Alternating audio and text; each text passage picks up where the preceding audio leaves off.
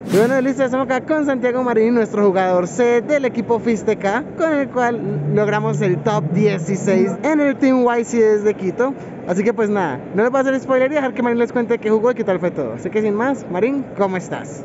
Bueno, muy bien muchachos, eh, algo triste porque perdimos en el top 16, pero muy contento como se comportó el deck durante todo el torneo. Eh, fue un deck inspirado en una versión que había hecho Trif hace mucho tiempo que combinaba varios engines. Eh, pues ya les voy a dar la razón de por qué los combiné. Listo, entonces eh, la primera parte del deck es el engine del Aramen, jugué dos Renoja. Ahora pues les voy a decir por qué. Tres Hafnis, tres Merly y tres Shale. Estos sí me parecen muy importantes jugarlos a tres porque son los que siempre quieres ver con los mileos para poder fusionar. Mientras que el Reino si bien obviamente es un starter, eh, pues no, no inicia, eh, no, no, funciona desde el cementerio, entonces pues por eso eh, solo jugué dos. Y ya pues por otra razón. los tres campos para buscar el, el, nombre que quisiera dependiendo del momento. y pues también es, tenerlos demasiado bueno porque hacen los bichos muy grandes y totean el turno oponente. La Instant Fusion que supongo que alguna vez irá baneada porque ella sola hace jugadas demasiado buenas y una, una azul. Ese es como todo el engine Telaramen que jugué en el deck. Ya siguiendo eh, los demás engines, jugué 6 Dangers, jugué 3 Nessie, Tsuchinoko, Yakalop, los 5 mejores. Y estaba entre un Mothman y, y, un Bigfoot. Y al final me decidí por el Bigfoot porque en el extra deck no tengo mucho rango 4 y esperaba mucho Runic Sprite. Entonces, eh, eh, digamos que tener un bicho gratis de 3000 puntos de ataque ayudaba mucho. Y también el efecto cuando es descartado eh, sirve bastante para pulsear floodgates y cosas así. Esto al final pues fue una adición que le hicimos, no lo estaba jugando, pero el equipo en el testeo en la última noche me convenció de llevarlo y realmente fueron muy buenos durante todo el, el evento. La verdad creo que tienen que ir sí o sí. Luego jugué una de las partes más importantes del deck, el Engine Adventure Token. Jugué tres de las niñas, dos ritos, porque la, la idea es, si no abro con estas cartas, miliar la niña y, me busco el Engine, entonces por eso solamente dos. Ya esto, jugué el grifo y adicionamos el caballero ilegal, porque es un target dark que es buscable para hacer Curious y y se dio pues varias veces en el torneo que esa interacción pues se diera. La inclusión de esto es que eh, esperábamos que la handtrap más jugada fuera Nibiru, entonces era la, mejor forma de proteger el, el, deck contra Nibiru y adicionalmente siento que tiene mucha sinergia con el deck porque la Faithful descarta por efecto, entonces los Tear triggerean y permiten pues, hacer muchas jugadas así. Jugué un Blue, un Jet y un Smashers. La idea de esto es, cuando uno está jugando el deck, uno siempre milea 8, uno llega a Elfo, y si uno eh, en las mileadas de las 8 milea alguno de estos dos, lo revives y hace un plus muy importante. Además, tener las Smasher en el deck es, es, un plus muy bueno porque te saca minas o te saca lo que tú quieras. Eh, y también le da mucha fuerza al Dark en el extra deck porque cuando juegas contra Sprite te permite revivirle al oponente un blue, te agregas esto y esto te agrega esto y pues ahí te spameas gratis. Entonces pues creo que es súper bueno jugar este engine en este, en este deck. Finalmente eh, las cartas para ir segundo, eh, jugué en Permanence Hydrol. Eh, esta fue como una lectura del formato. Pensamos que eran las mejores cartas para ir segundo. Eh, a pesar de que Super Poli es extremadamente buena, pensábamos que ya no estaba tan fuerte en el formato, no se podía activar mucho. Eh, sentíamos que cuando activamos Super Poli al final eh, eh, terminábamos perdiendo ese single y la verdad no me arrepiento, creo que estas fueron las mejores cartas que pude haber metido.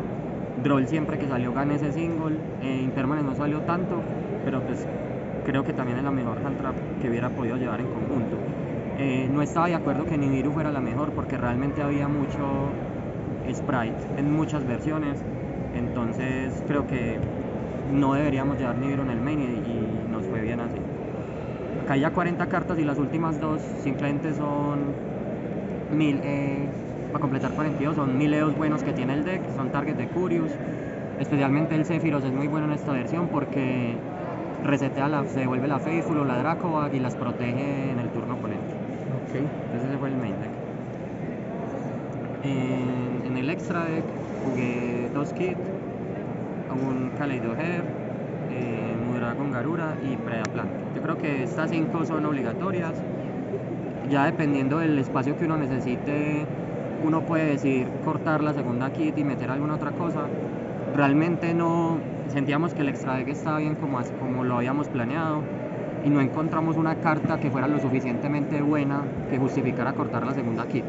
Y tener la segunda kit eh, te permite ciertas libertades a la hora de jugar, te permite eh, en situaciones de grind game volver al juego y se dio pues varias veces que la necesité, entonces creo que estuvo bien jugar las dos. Como XYZ solamente jugué Davis Dweller, por eso fue que dejé el Bigfoot sobre el Moodman, porque realmente no, no tenía mucho rango 4. Eh, este lo ocupaba sobre todo cuando ya pues en juego 3 cuando ya sabía que estaba jugando contra un deck que le doliera pues el Dweller lo hacía. Creo que siempre tiene que ir. Porque cuando es bueno pues gana solo.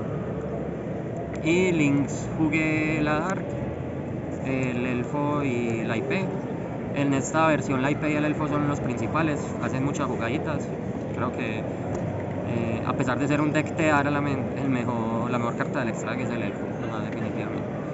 Link 3 jugué Curious, eh, Link 4 jugué Topologic para hacer la jugadita con el Elfo y la IP. Jugué el Grifón para cuando estaba haciendo la jugada del Curious, bajar, poner el Grifón y resetearme las Smashers si la había miliado, la Zuliek. Y cuando el Grifón pues caía, eh, ponía una condición muy buena en el campo. Eh, y con la protección del combo break token era realmente difícil que con, la prote- protección del combo break token y smashes era muy difícil que pasaran por el grip. Eh, jugué el cero oros. eh, en, el papel creíamos que era una carta necesaria, pero no lo usé en todo el torneo debido a que mi última carta fue la Godes. Con la Godes fue muy buena, reventé muchos campos que no se la esperaban, me linké varios Abramax. Entonces digamos que la Godes a la larga hizo el trabajo del cero oros. Entonces esta podría ser una carta que se podría cortar por un segundo de elfo eh, o algo así. Ok. Y en el side deck eh, jugué Board Breakers, 3 Evenly, 3 Storm. Creo que fueron súper buenas, sobre todo la Evenly. eh, el hecho de, de- de- digamos que en esta versión, como juego el combo break token, me gusta mucho jugar Board Breakers porque normalmente, por ejemplo, si resuelvo Evenly me dejan la mejor carta y ya pues con el combo break token o con Smasher me encargo de eso. Lo mismo eh, Lightning Storm creo que no, no cambiaría esas cartas. Eh, por respeto a, a Telaram en, todas sus versiones, pues jugamos el Nibiru acá. Eh, nunca lo resolví, pero pues ahí estuvo. Creo que debería ir en el side deck. Como les decía, pues en el main deck, al menos cuando hay que jugar tan poquitas cartas, ir segundo no me parece bien. Jugué dos Cosmic, eh, a la final pues esta fue decisión del equipo. Eh, aquí está jugando Shadow Hunter. eh, pero a la larga pensábamos que era mejor tener los Cosmic porque daban un poquito más de, de- cubrían un poquito más de matchup. Para ir primero jugamos Der Cambio Only One. La idea con esta carta era, eh, pues dado que juego el combo break token, realmente el deck tiene mucha diversidad de tipos y con esto la idea era ganarle a, a Sprite, era ganarle a Madmech, a Flunder, a todos esos decks que no te dejan jugar. Entonces, por ejemplo, si un Flunder me hacía Shifter, yo simplemente con esto ya prácticamente me aseguraba el tiempo para volver a, a remontar el duelo. Y como carta 15 jugué la, el, el cucarroncito. Ok. ¿Algún cambio que le quisiera hacer al mazo? No, como creo que el main deck estuvo perfecto, realmente se comportó súper bien. El, el, el match que perdí en rondas, creo que pude haber hecho una jugada mejor para haber quedado 7-0. Y en el top eh, pues se dio una situación que a la final también terminé cometiendo un misplay y, y- y perdimos, pero realmente el mazo se comportó demasiado bien. O sea, el mazo siempre me dio las herramientas que necesitaba para ganar. El único cambio sería de pronto en el extra, el cero oros por otra carta, pero el resto es todo Ok, ¿algún saludo, o agradecimiento que quisieras darle a alguien antes de terminar? Sí, un saludo primero que a los muchachos que me acompañaron en este viaje, a Esteban y Pablo. Este, pues obviamente la desilusión por perderme en el top, pero en realidad pues pasamos un evento muy chévere, la euforia de haber topeado ayer, eh, a todo el Team Fisteca que nos apoyó en el testeo, eh, estuvo pendiente de nosotros, a mi familia, a mi novia. Eh, Ok, Manny, muchísimas gracias y felicitaciones por ese top 16.